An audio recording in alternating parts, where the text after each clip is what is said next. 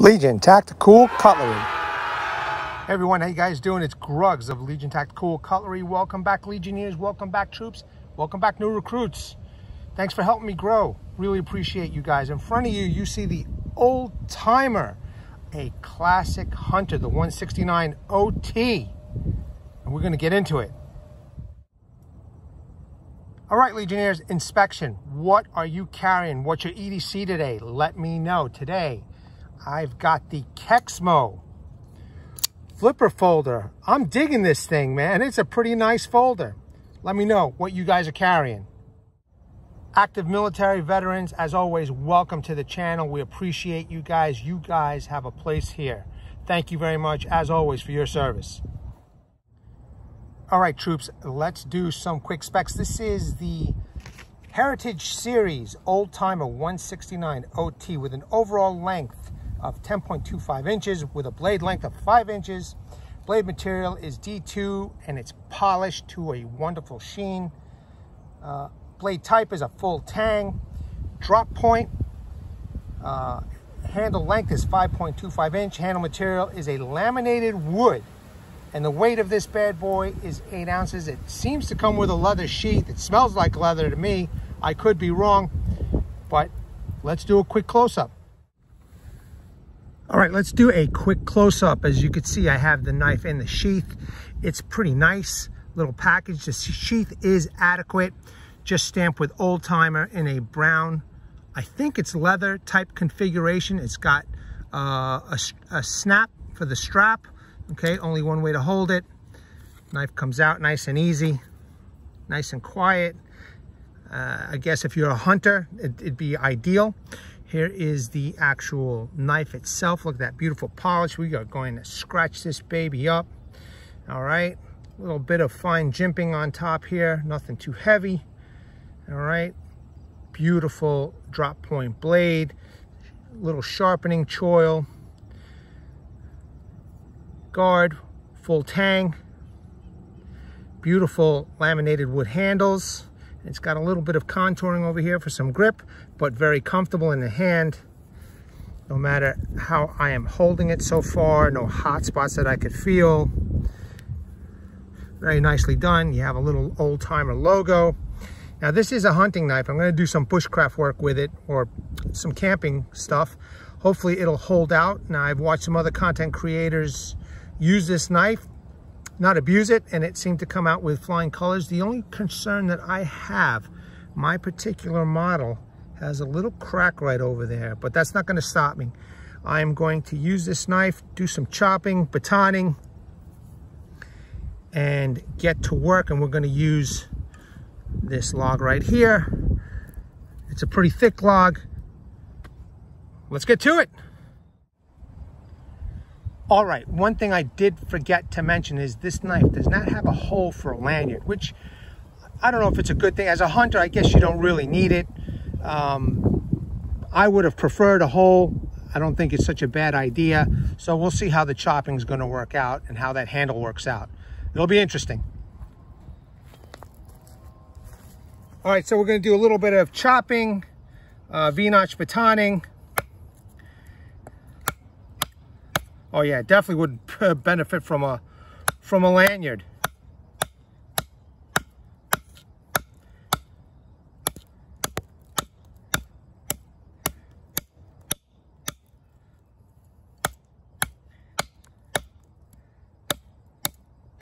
Now I notice right off the bat, I definitely have to hold it with my two fingers here all the way at the end. And it's a good thing that it's got this little curvature over here so you, it won't slip out of the hand. But again, this is a hunting tool in my opinion, you know?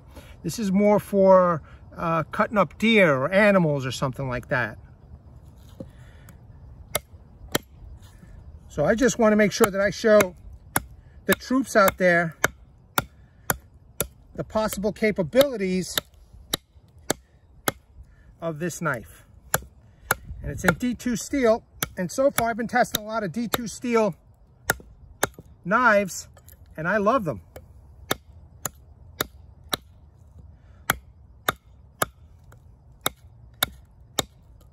This knife is really sharp. It did come out pretty sharp out of the box. So any of you who own this, let me know in the comments below if you have the same experience with this knife, if you have this knife, and what you've done with it, you know? I know it's uh, hunting season pretty much around the, the uh, country, and I'm kind of curious to see if some people, hunters, own this particular blade and have used it as such.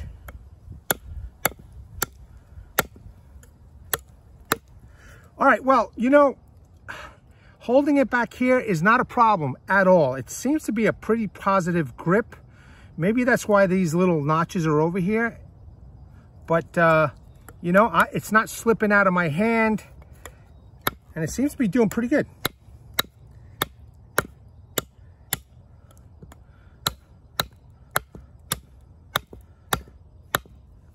Uh, edge, still sharp and seems to be doing good. No deformation. the other day I said deformation, deformation. I meant to say deformation. Um, no chips yet. I know it's only a short time, but initial impressions seem to be pretty positive. And that's a pretty nice, pretty nice deep gouge right there. Uh, you know what? Let me do some V-notch batoning. I'm going to grab the baton and we'll continue.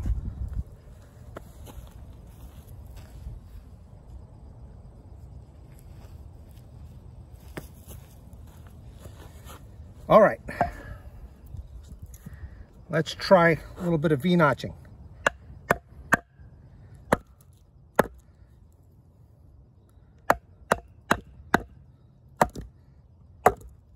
All right, that's a nice notch right there. Look at this. Look at that chunk it took out. I like it. Like I had mentioned the other day, I do enjoy this V-notch batoning better than chopping. That's for sure. It's definitely making some nice clean cuts.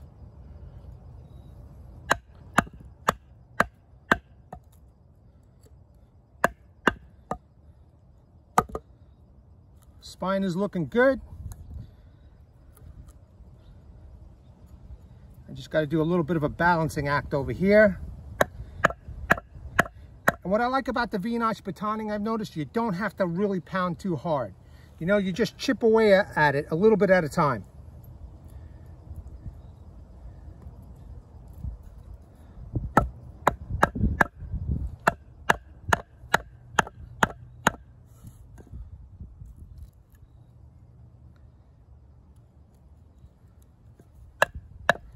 Bingo.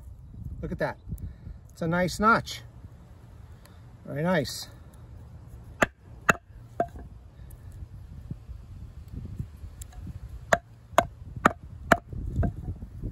This is a solid piece of wood right here, folks. And the knife is doing real well for a hunter.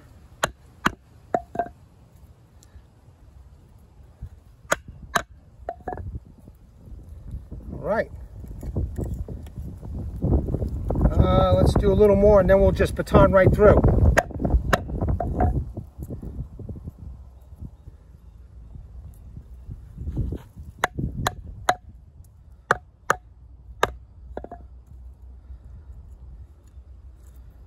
All right, let's see if we can baton right through. Actually, let me get rid of this little piece over here.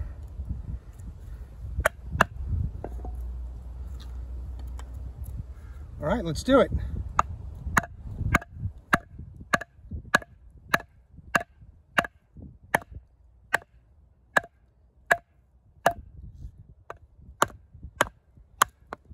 Nicely done. Nicely done, ladies and gentlemen. Look at that. And okay, let's just check everything. The spine is looking good. My laminate didn't break yet from all the banging. Edge looks good. Let's move on. All right, let's process this log down even further. I got one with a nice knot over here and uh, that's what I'm gonna test out first.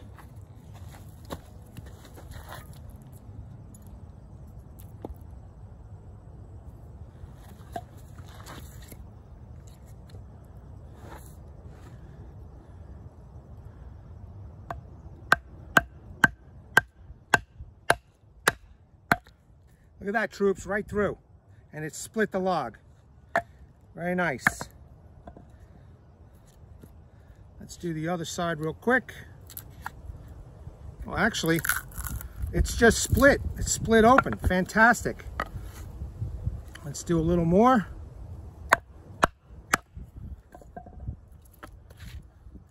Not bad for a hunting knife. Not bad at all. Let's go vertical.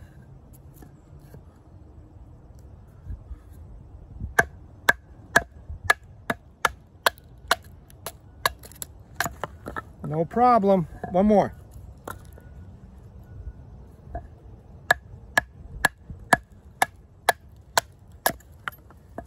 Fantastic. Let's make some feather sticks.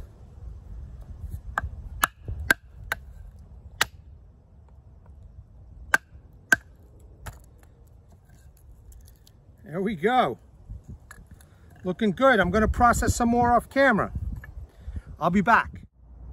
All right, let's do some simple feather sticks. I want to show you the sharpness still. Still pretty good. I have a, a little bit of bark here. Still shaving. Cutting right into the wood. It's doing, it's, it's real, real sharp.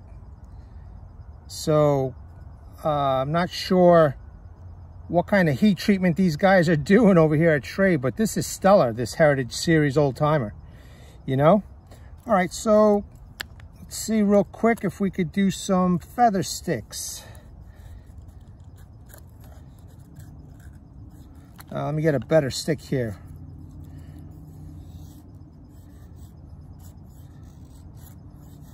Yep, looking good, nice and fine too.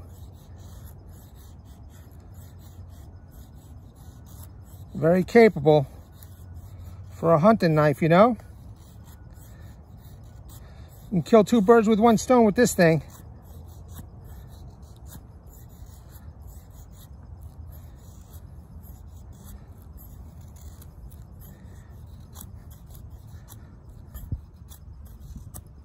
All right, very nice. I'm digging it. Blade's getting nice and dirty. Uh, you know what I want to do? I want to make some manageable pieces, but I want to use the baton to do it. So,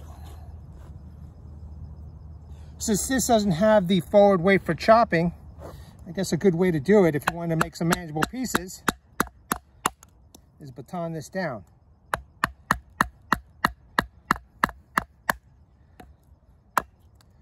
Okay, that's good. Uh, just fell on the floor. Pick that up in a second.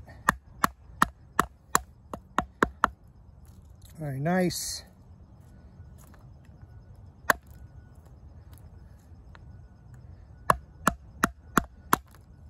All right. I'm pretty happy with that. Edge is still looking good. Still sharp. Wow. Look at that. Look at that.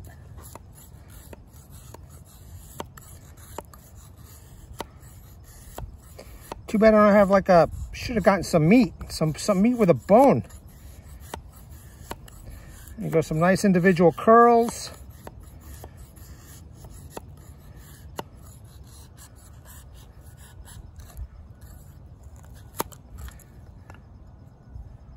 Just wicked sharp. All right, cool. All right, let's do a little carving.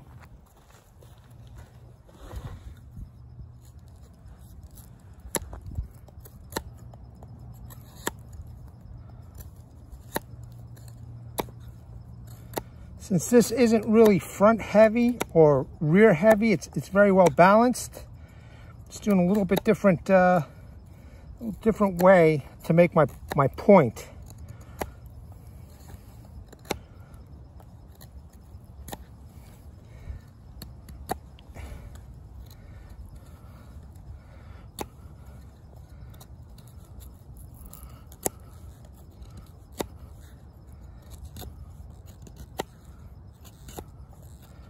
Yeah, carving all right.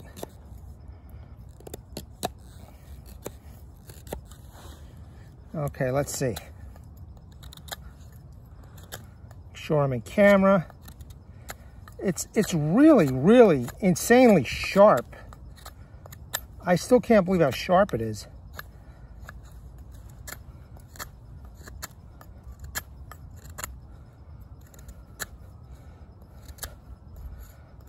Look at the angles I'm making.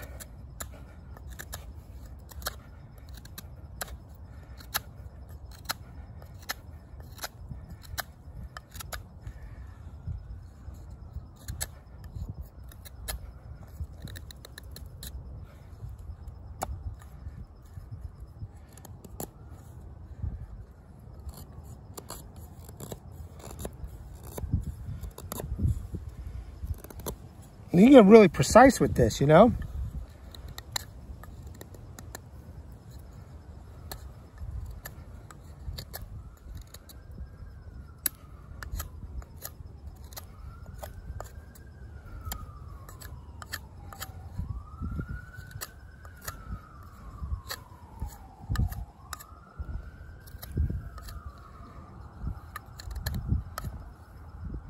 All right, that's a nice little tip get rid of this bark.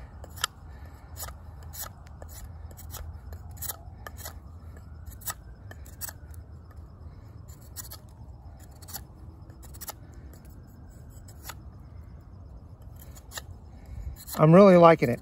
I'm liking this knife. The handle is comfortable. Everything about it just screams awesome.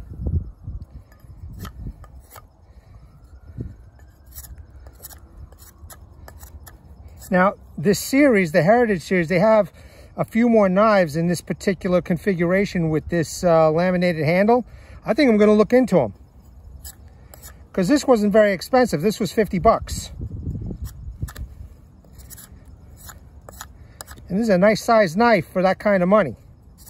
And so far, she's doing pretty good.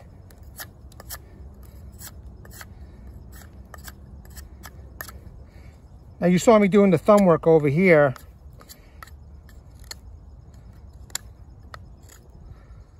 Which is totally capable. So let's see. Let's just taper this top off.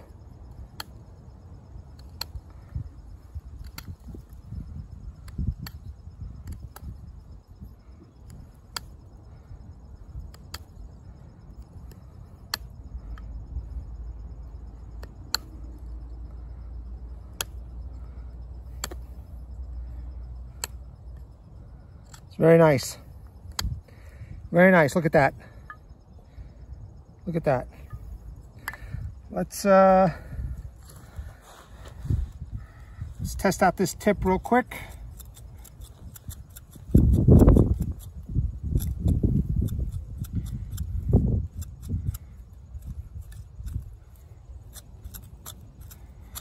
Just taking my time, ladies and gentlemen, so I don't accidentally cut myself.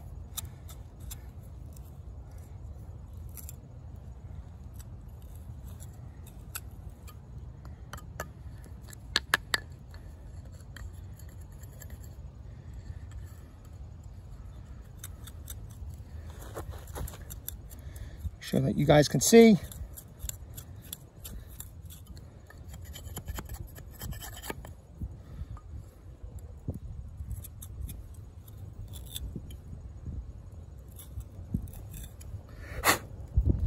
Okay, nice little divot right there. Tip looks good. All right, let's make a little notch.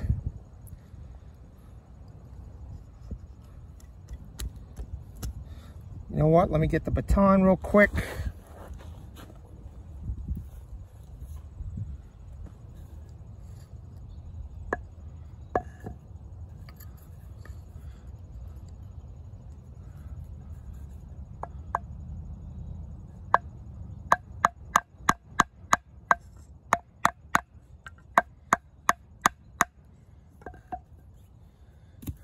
Okay, that should be good.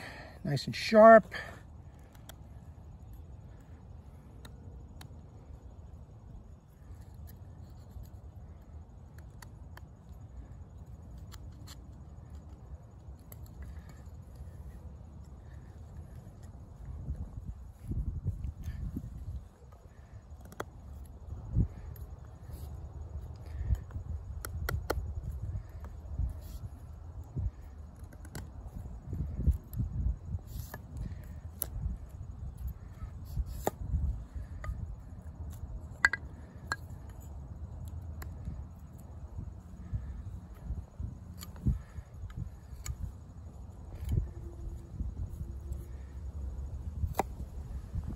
Okay, definitely doing it. There you go, ladies and gentlemen. Very capable. Not only is this a nice hunting knife, but it could do some bushcraft tasks.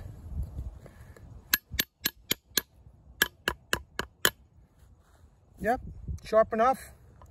Working out good. All right, Legionnaires, up to this point, I've been pretty happy with this knife. So far, so good. It's still sharp. I got some fat wood and I've got some regular wood and I'm going to use the spine and see uh, what I can do as far as scraping. Give that a test. We'll start with the wood first and I'm going to do this little brown side. That looks like it's doing a good job. I am using the jimping over here, the light jimping. See the spine itself. Yeah, the spine itself is doing pretty good. Okay. All right, made a nice little pile. Let's check out this uh, fat wood. I did use this the other day.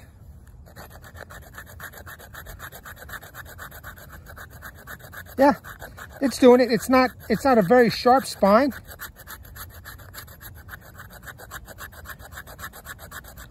But I guess, you know, in a situation where you need to start a fire, you know, this works okay, the spine. Look at that. All right, let's make some individual curls with this. Very nice. Still sharp. Again, I, I know I only use it for a limited time, but it's it's wicked sharp. Look at those look at those corkscrew curls.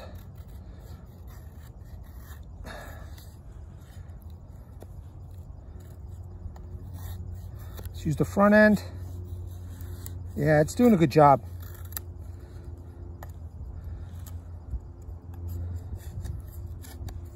Look at that.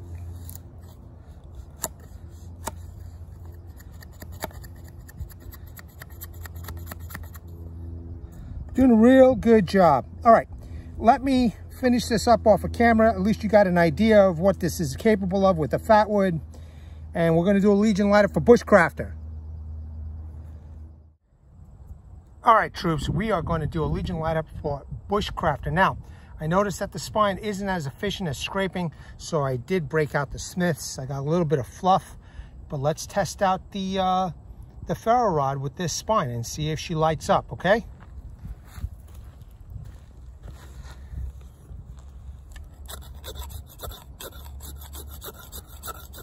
Wow, it's real smooth. Not really, not really doing much. Nope. Let's see. Just got to get in there, I guess. Dig in.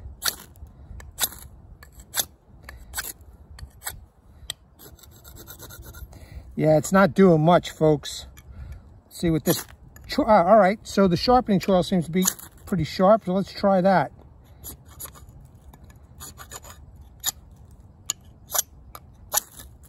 There we go. Bushcrafter. You have been honored, sir. That's a nice fire right there for you, buddy. All right. Very cool. The Legion also has been honored. Great, great fire. All right. I'm real happy with that, folks. Real happy. All right, troops, this old timer did an awesome job.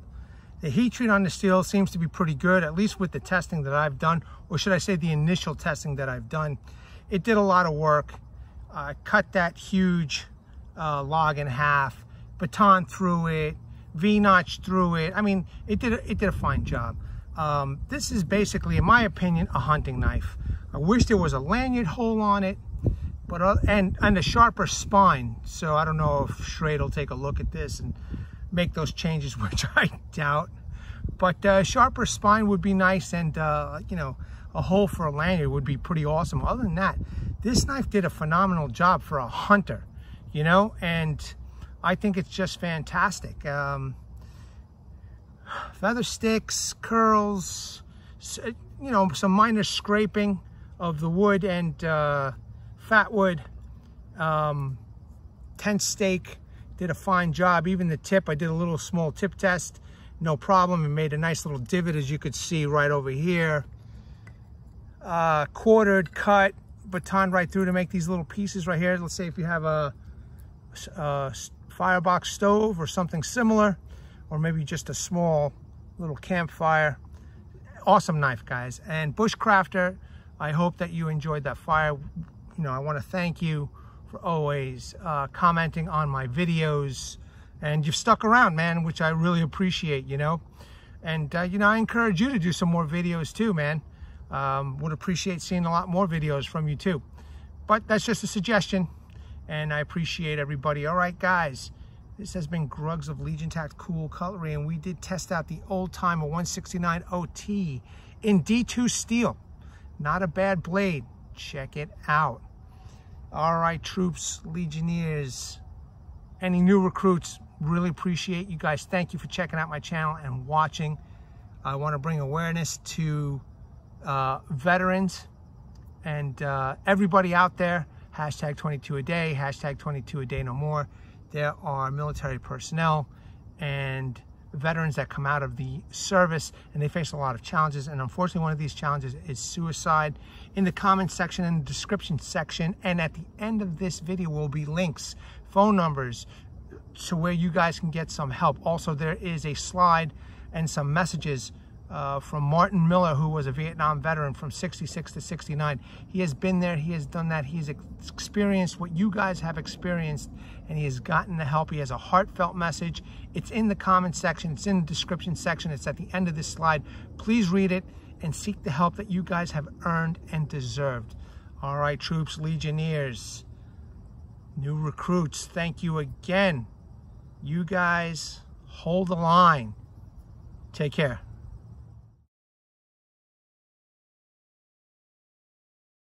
Legionnaires!